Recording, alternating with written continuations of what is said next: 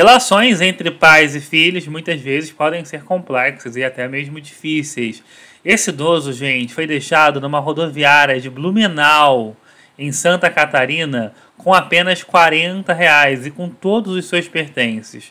E aí, né, a polícia foi e decidiu encontrar o filho desse idoso, que é quem teria deixado ele nesse local, nesse espaço, sem ter, né, como basicamente fazer nada, né, porque hoje 40 reais é muito pouco. A gente vai contar como é que terminou essa história, porque eu já garanto a você, esse filho acabou sofrendo um castigo daqueles, hein? Antes, um recado rápido, esse aqui é o TV News no ar. Não esqueça de se inscrever aqui no canal. Para isso, é, basta você clicar no botão vermelho da inscrição, o famoso botãozão vermelho, tá piscando no seu vídeo. Gratidão sempre, ajuda muito a fazer o nosso trabalho.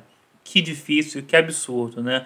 Esse idoso de 63 anos foi deixado em uma rodoviária com todos os seus pertences. Alguns deles, como a gente vê na imagem, deixados numa sacola de lixo. E o filho dele deixou o senhor né, com apenas 40 reais. Ele estava praticamente desorientado, mal sabia quem era o filho. A polícia foi, fez toda uma mobilização para encontrar né, esse rapaz, como mostra essa matéria publicada pelo site i7 News. De acordo com essa reportagem, assinada pela Tatiane Braz, a polícia foi até a casa do homem, né, do filho desse senhor, para tentar convencê-lo a ficar com o pai. Só que o filho, gente, fez uma negativa. Disse que ali ele não ia ficar, que não sei o que, que não era, não era obrigado a cuidar do pai.